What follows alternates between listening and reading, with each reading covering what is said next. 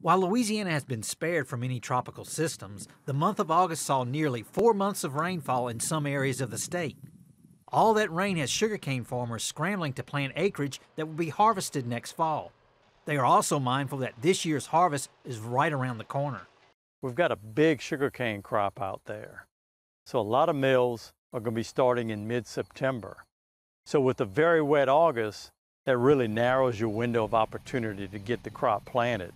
Like the daily scattered showers, some farmers are more than halfway with their plantings, while others are just starting.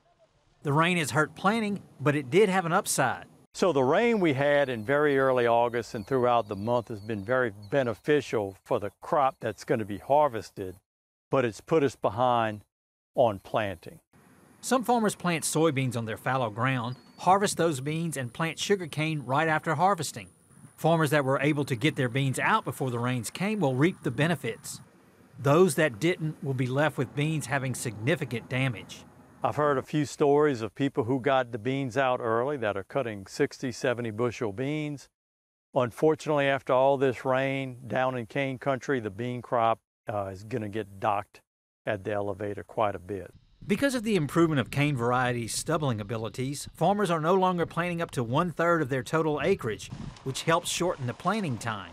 So right now, people are planting somewhere in the neighborhood of 15 to 20 percent of their total rotation each year. Gravois said more farmers are going to mechanical and billet planting, which helps speed up the planting process. With the LSU Ag Center, this is Craig Gautreaux reporting. Sugarcane grinding season in Louisiana is expected to last from mid-September all the way through January, grinding and harvesting every day, rain or shine.